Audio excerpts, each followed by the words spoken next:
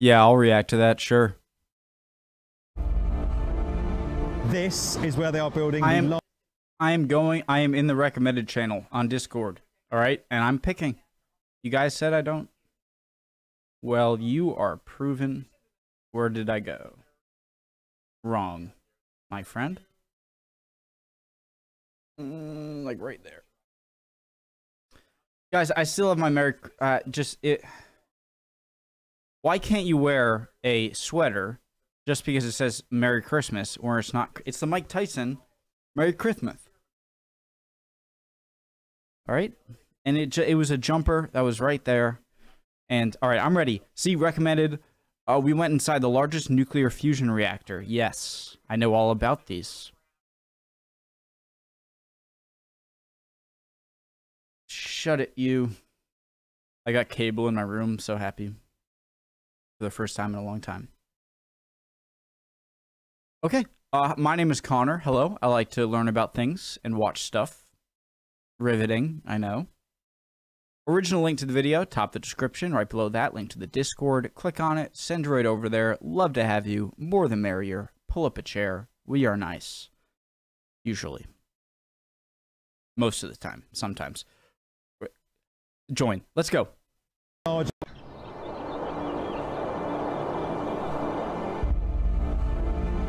This is where they are building the largest nuclear fusion reactor in the world. Right now, I am inside the assembly hall of the International Thermonuclear Experimental Reactor in the south of France. And just behind me back there is where scientists and engineers are working to replicate what happens inside the sun. Now, this is so much more than just another energy project. It's a $22 billion science experiment between a whole host of nations all coming together to try and change how we generate power on this planet. You guys ever heard of a thing called a Dyson sphere? No, not a Dyson. sphere.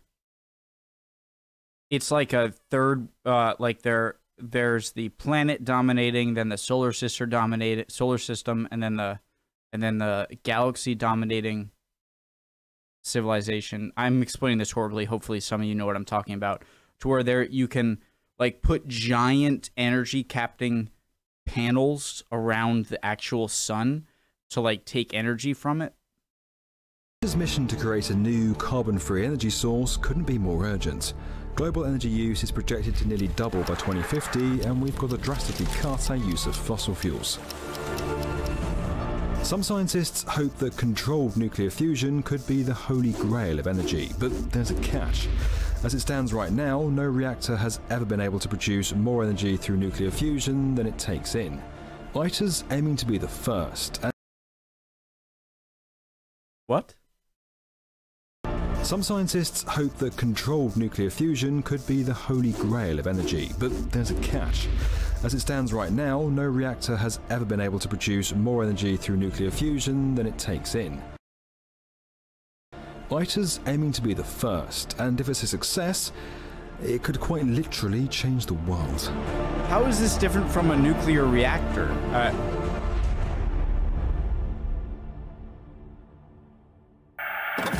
Nuclear fusion, the energy which fires the hydrogen bomb, and the sun.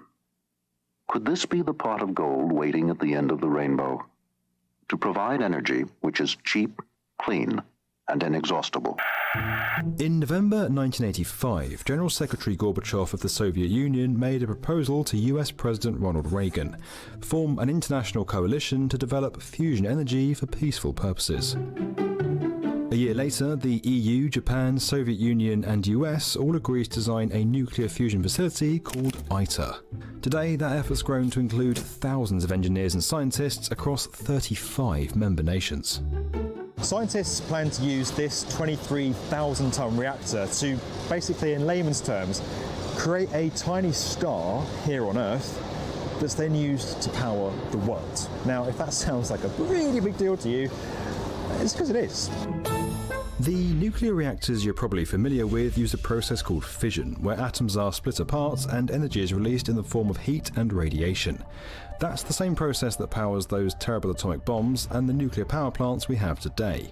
It's driven by elements like uranium and plutonium, which can be hard to get hold of and end up as dangerous nuclear waste. Guys, one of the things I don't understand about nuclear fission those or terrible you know nu- nuclear reactors is so you you're probably so familiar you with use a I'm gonna pause. I have questions. All right, get at uh, the original link to the video. If I get one more damn comment from you people saying, "Oh, I paused too much," if you enjoy the video, original link to it, top of the description. Just go watch it. I, I don't mind, but I have questions. So, so it starts process called fission, where atoms are split apart right, and then these ones are are directed into another uh nucleus and then and then those split into another. But how do you get them so accurate? Like how how do you get it so calibrated to be accurate where you split one and then that splits and that splits another like four?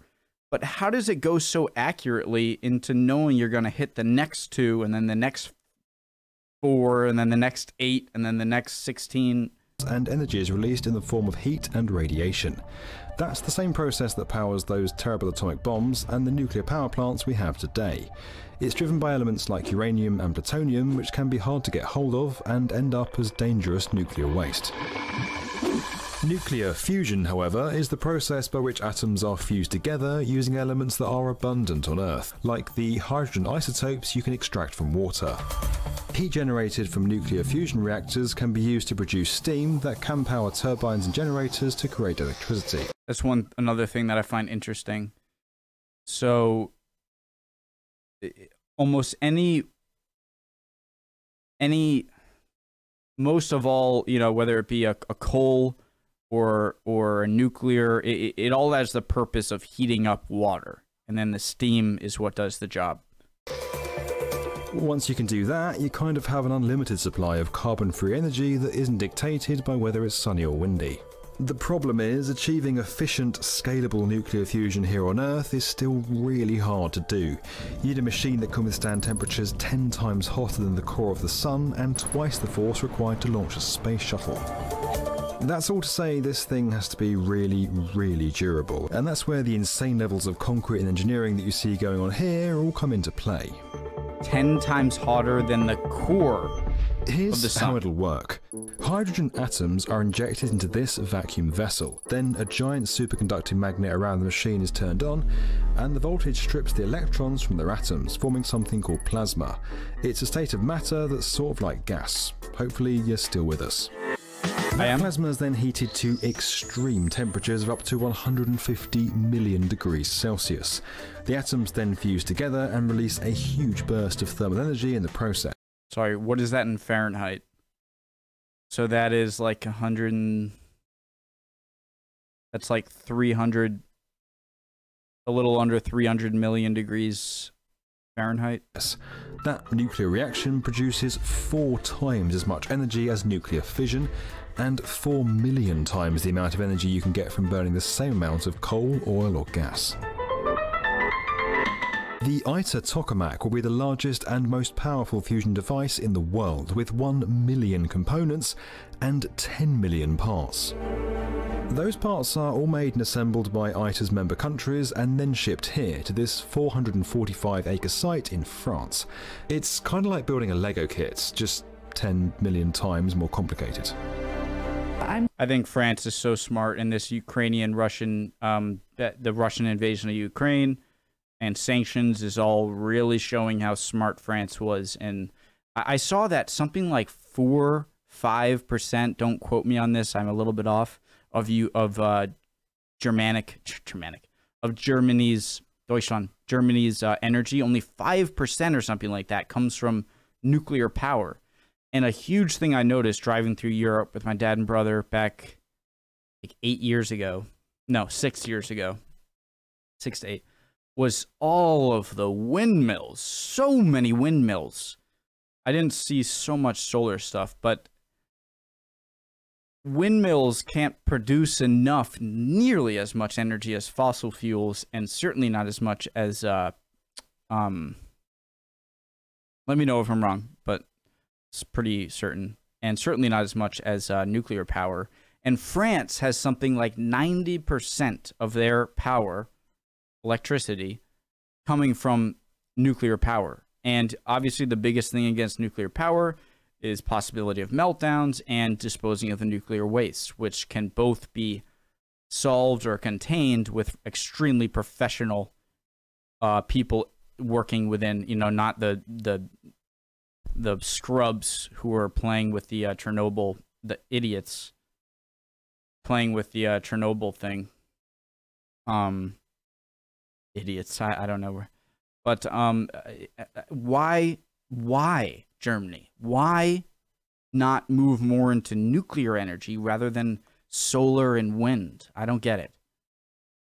Ricketts, So you aren't- work as the deputy Sorry, so you aren't reliant on Russian oil because Russian oil has to fill in what the what your wind farms and solar panels can't generate. Head of the Project Control Office for ITER organisation. It's my job to make sure that all the bits that are needed to put together the Lego kit that is ITER show up on time, the right colour, the right shape, the right time. I'm the grand master of the Lego kit. With so many heavy components needed to make the machine, 104 kilometres of roadway have been specially modified into something that's now known as the ITER itinerary. We've built bridges, we've widened roads, we have police convoys to get our components through. It's a massive undertaking just to move a component. Everything then comes here into the massive assembly hall. Parts are put together and these enormous cranes on the ceiling above my head lifted up and over into the reactor. At its core, we're still building the same facility we were building and was imagined decades ago. But of course, every week something changes because we're on a global platform. Pandemics, Brexit, political elections. So then we reschedule, we reorientate our program. I spend most of my time saying, well, that was the plan, but nothing goes to plan, and this is how we're going to adapt. Now, I'm a self confessed construction geek, and ITER really is the ultimate construction project. If you thought getting one national government to build an infrastructure scheme was hard, try doing it with 35 nations, all with different languages, cultures, and building practices. It's a pretty nuclear level of project collaboration, and tools from Think Projects are helping to make it all happen. So it's the coming together of these nations who recognise that there's a problem with the environmental conditions, recognise the mm, the potential of fusion to solve the baseload energy problem, and are now working together.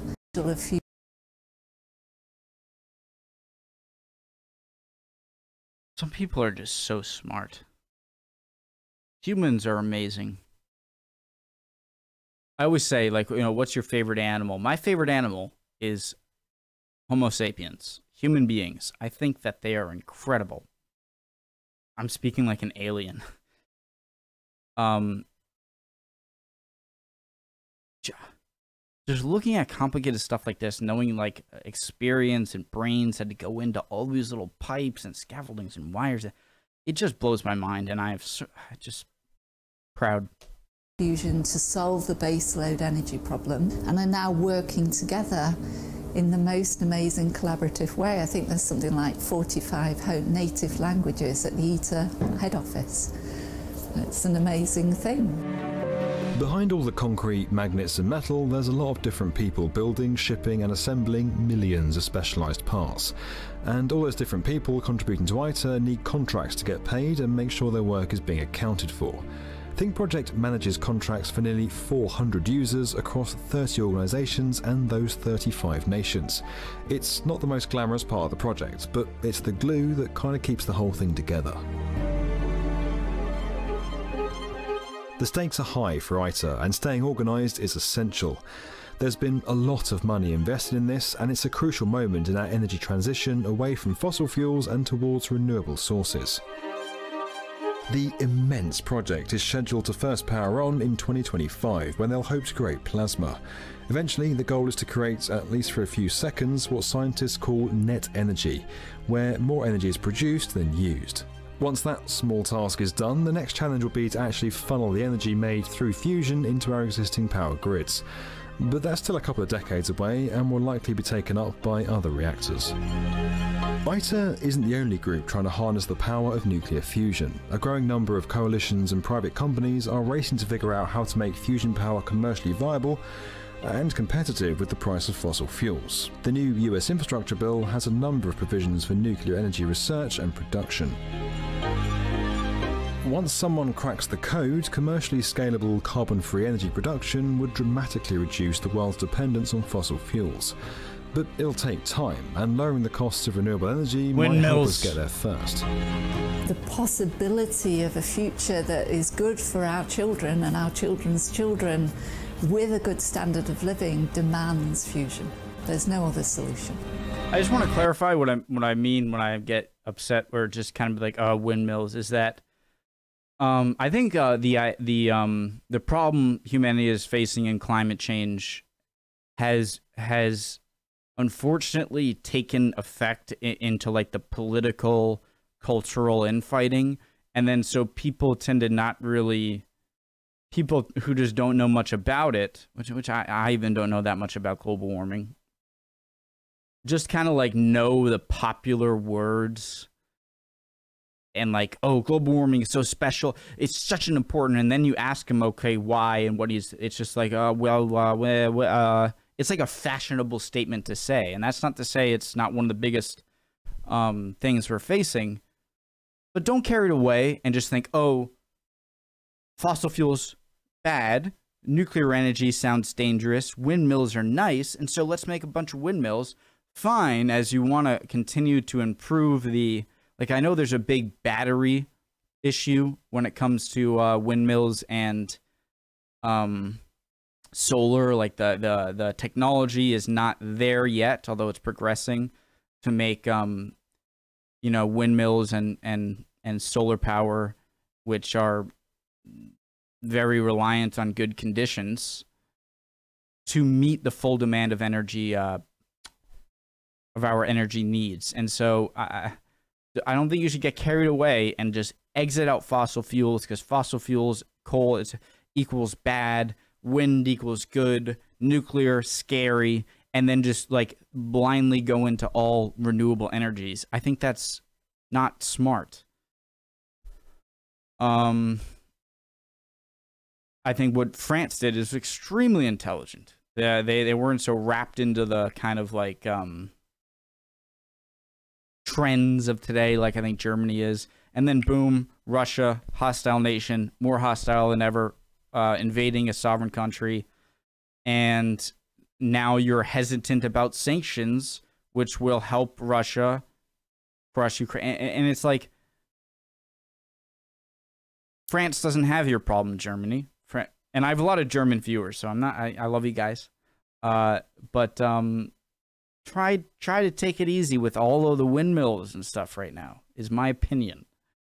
Um, keep a little fossil fuel production, keep a lot of nuclear, and uh, yeah.